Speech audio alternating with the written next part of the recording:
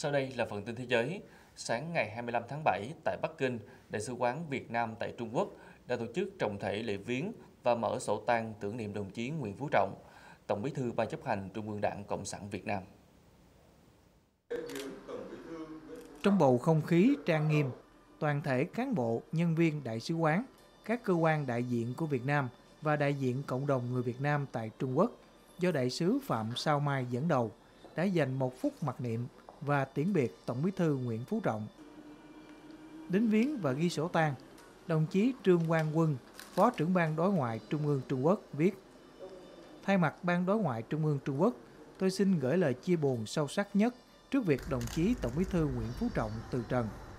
Trước đó, vào ngày 20 tháng 7, Tổng Bí thư, Chủ tịch Trung Quốc Tập Cận Bình đã đến Đại sứ quán Việt Nam tại Trung Quốc viếng, chia buồn sâu sắc và ghi sổ tang trước việc Tổng Bí thư Nguyễn Phú Trọng từ trần.